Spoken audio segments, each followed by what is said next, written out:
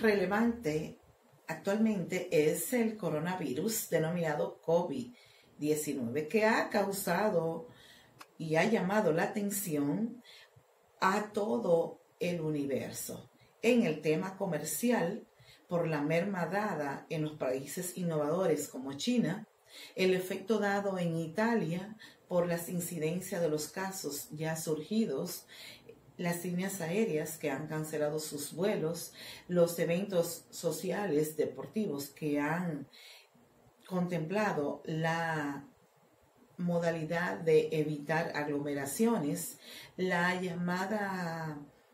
identidad de tomar las previsiones por las entidades de salud, los organismos internacionales que han mostrado todo el apoyo ofreciendo recursos económicos, en fin, todo esto está de la mano por la alerta causada y por los efectos que puede dar el coronavirus o COVID-19.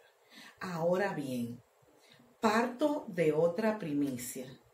¿Qué medidas han tomado los actores de la cadena logística ante una iniciativa que surja de la industria farmacéutica por la generación, la producción, la exportación de una vacuna, de un medicamento que requiera de una temperatura regulada?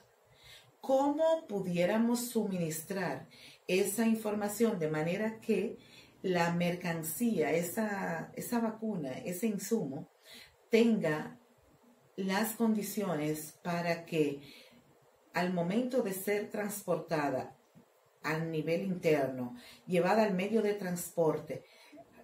embarcada o transportada vía aérea